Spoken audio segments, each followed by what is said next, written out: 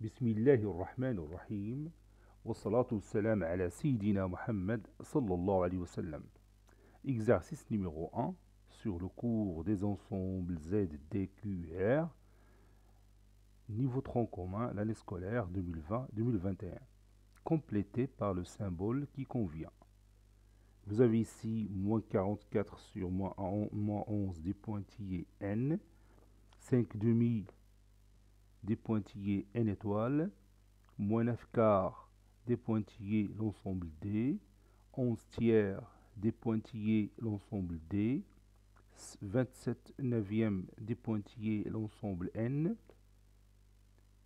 moins 8 sur 11 des pointillés l'ensemble Q, 0 des pointillés l'ensemble Q étoile, la racine carrée de 2 des pointillés l'ensemble Q, 12 des pointillés R, moins 4 septièmes des pointillés R, la racine carrée de 7 sur 3 des pointillés R étoile. Prenez votre cahier des exercices et copiez ces données, puis vous allez prendre votre cahier de brouillon et vous allez compléter par le symbole qui convient. Vous avez le choix entre deux symboles que vous connaissez déjà.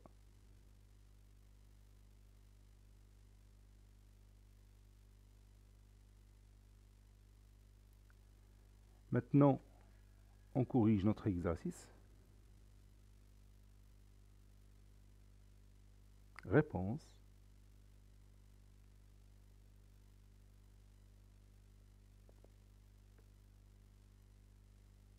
Complétant.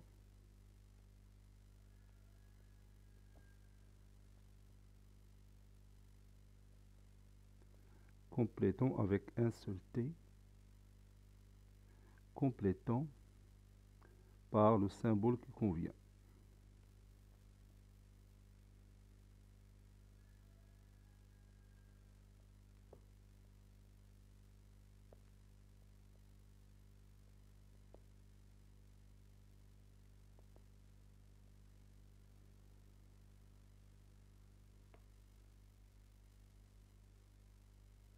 Je vais justifier ma réponse oralement à chaque question.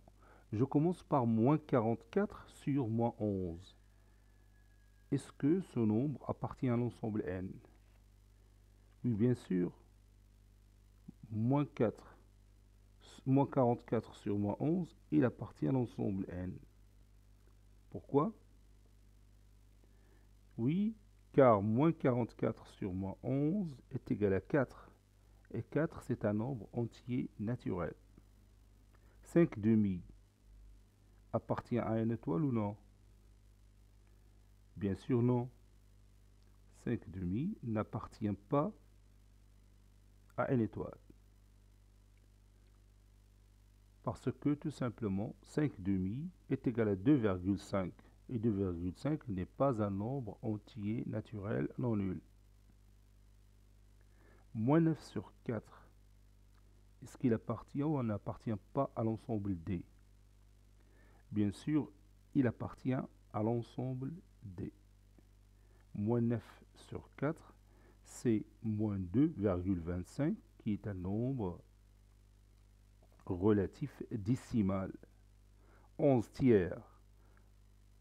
Oui, 11 tiers n'appartient pas à l'ensemble D. Pourquoi? Oui, parce que la division de 11 sur 3 ne se termine jamais. Donc on ne peut pas remplacer 11 sur 3 par un nombre qui contient la virgule. 27 sur 9. Comment il est par rapport à l'ensemble n? Bien sûr, il appartient à l'ensemble n. 27 sur 9 qui est égal à 3, et 3 est un nombre entier naturel. Moins 8 sur 11. Oui, c'est un nombre rationnel, donc il appartient à l'ensemble Q. 0. Est-ce qu'il appartient à l'ensemble Q étoile? Non. Bien sûr, non. Q étoile, c'est l'ensemble des nombres rationnels non nuls. C'est-à-dire, c'est un ensemble qui ne contient pas 0. Donc 0 n'appartient pas à cet ensemble.